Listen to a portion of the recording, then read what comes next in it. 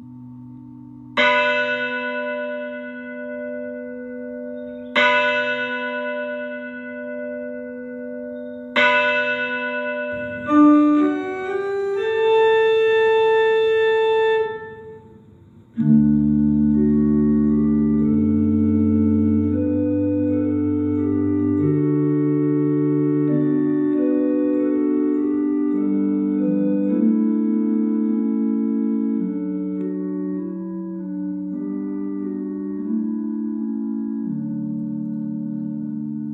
In the name of the Father, and of the Son, and of the Holy Spirit.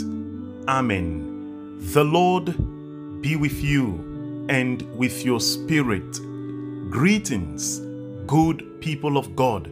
You are listening to Catholic Meditation with me, Father Blessed Ambang Njume. Today is Friday, the 4th of October 2024. It is Friday of the 26th week in Ordinary Time Church Year B. Today is the memorial of Saint Francis of Assisi. Good morning and thanks for joining us. Let us pray. O God, by whose gift Saint Francis was conformed to Christ in poverty and humility, grant that by walking in Francis's footsteps, we may follow your Son and through joyful charity come to be united with you. Through our Lord Jesus Christ, your Son, who lives and reigns with you in the unity of the Holy Spirit, God, forever and ever. Amen.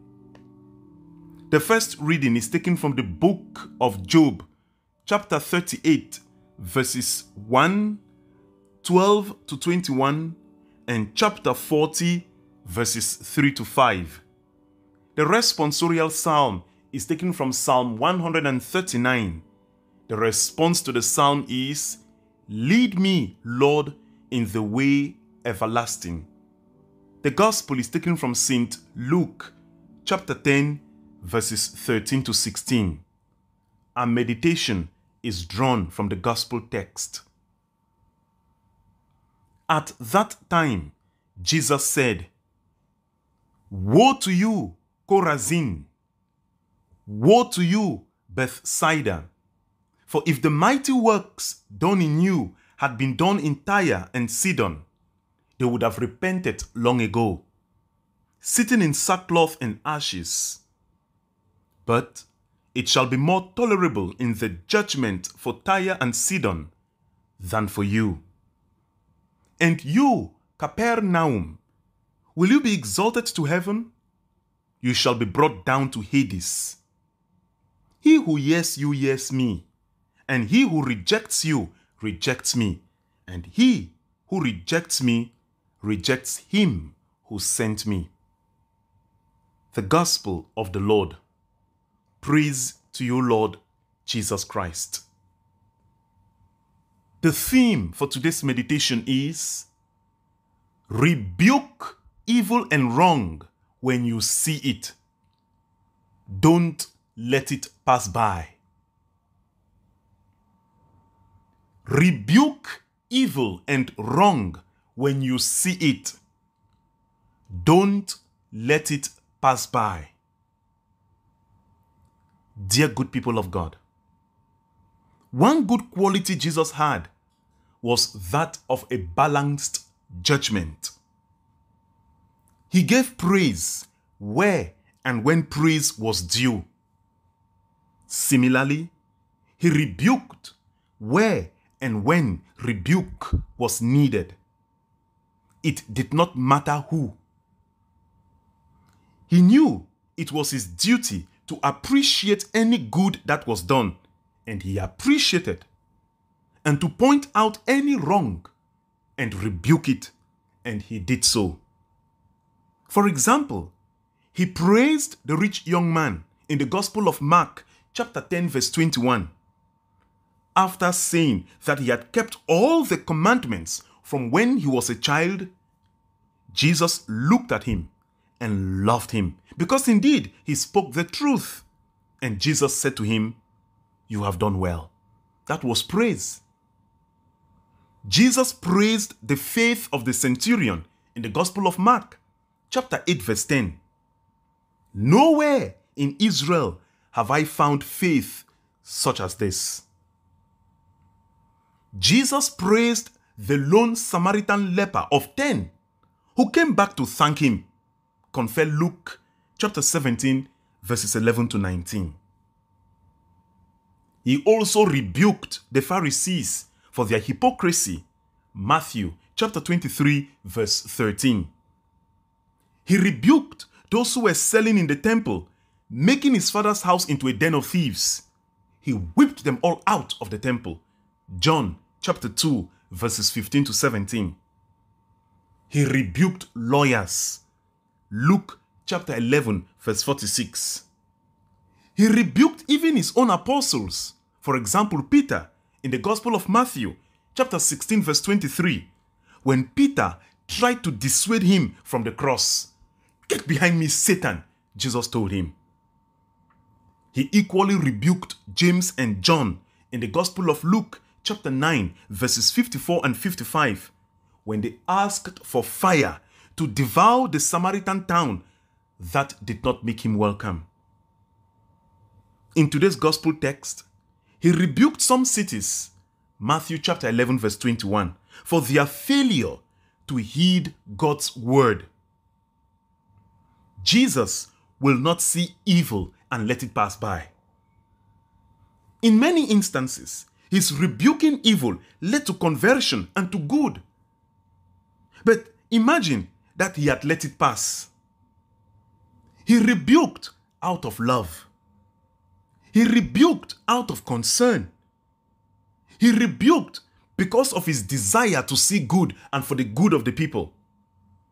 We are told only a good parent who wants the best for their child will discipline them. It is discipline out of love, not out of hatred, and that is why Jesus rebuked evil when he saw it. The problem with us is we are never balanced in judgment like Jesus. First, some people will never give praise when and where it is due, but they will focus on the evil. They wait only for the evil to rebuke. Fair enough, evil should be rebuked, but remember that praise should also be given when it is seen. Don't take it for granted. Let us not be too negative. Some people will never praise you for all the good you do. But make a mistake, oh, that was what they were waiting for.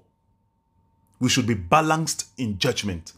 Jesus praised when he saw praise, and he rebuked when he saw error. Second, some people will end at praises and say nothing of your wrongs.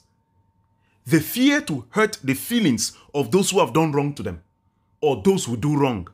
So they see the wrong you do, but they fear to hurt your feelings and they just let you go.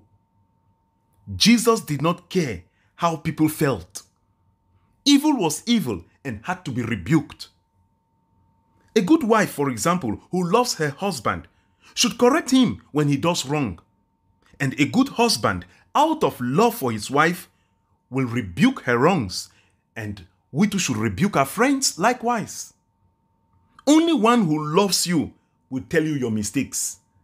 But those who hate you will not tell you, but they laugh at you behind you. But many times when our wrongs are told to us, we defend. Or we see those who tell us our wrongs as our enemies. Third, we hide or we become blind to the evils of those whom we call our friends.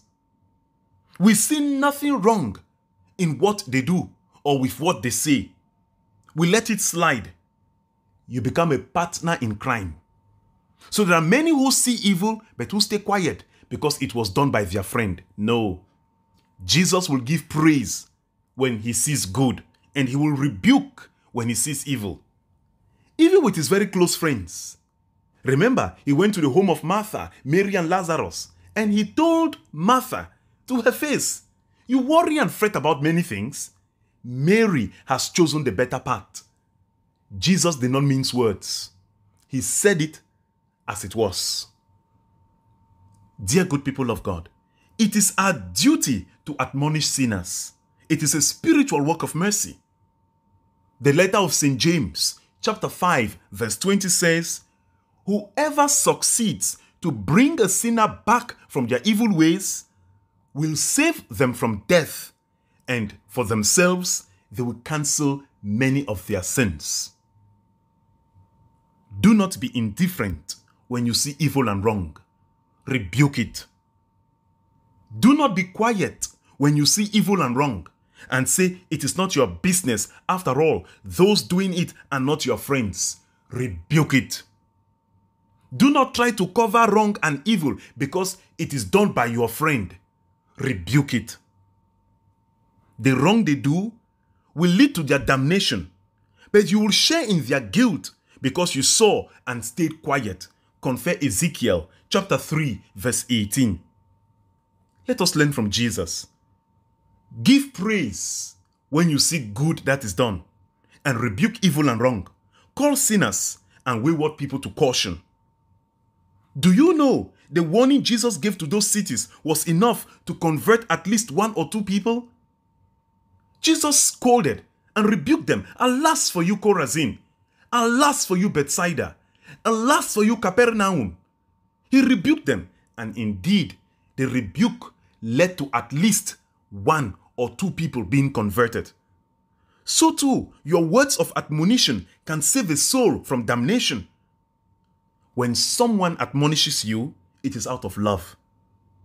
One who does not love you will not care. They may even want that the evil you do leads to your destruction. Don't ask them that they are admonishing you as who. We all have the duty. So, beloved, don't let it pass. When you see evil and wrong, rebuke it, just like Jesus rebuked the cities for their failure to heed God's word. Francis was born at Assisi in the year 1182. As a young man, he renounced his father's wealth and pursued a life of voluntary poverty while remaining a lay person. Gifted with a joyful spirit, he lived the gospel to the full and attracted many followers. He preached through the example of his life, and his message brought about a renewal in the church. Towards the end of his life, he received the stigmata and died on the 3rd of October, the year 1226. Many religious institutes find in St. Francis their founder and inspiration. We think in a very special way of the tertiary sisters of St. Francis and the Capuchin friars. We wish a happy feast day to all those who go by the name Francis, especially Pope Francis, and to institutions named after him. The Lord be with you. May the blessing of Almighty God, the Father, and the Son and the Holy Spirit come down on you and remain with you forever. Amen.